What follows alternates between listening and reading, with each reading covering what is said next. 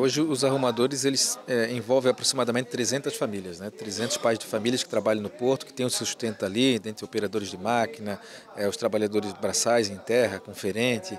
É, e nós devemos muito ao seu Valdeci por tudo que ele fez, porque quando da, da lei de modernização dos portos, esse serviço, essa atividade estava praticamente ficando fora. E Valdeci, praticamente dois anos em Brasília, conversando com deputado, tentando convencer senadores, aliás, todos os parlamentares, ele conseguiu incluir a nossa categoria, incluir a garantia de emprego de vários pais de família aqui em Itajaí. Então foi uma forma de homenagear alguém que contribuiu muito com a sociedade, contribuiu muito com o nosso porto. Essa homenagem foi uma surpresa para mim, né?